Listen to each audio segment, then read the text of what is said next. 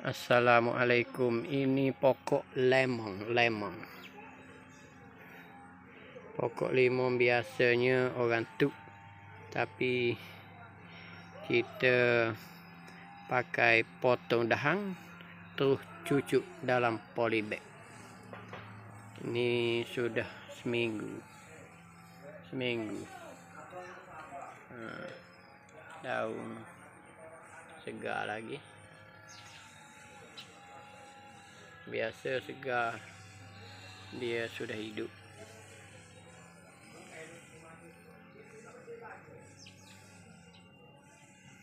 Ni lima. Lima kasturi. Ha ni.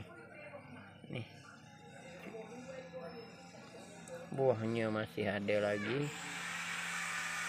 Hmm, sudah hidup. Ada pucuk-pucuknya. ni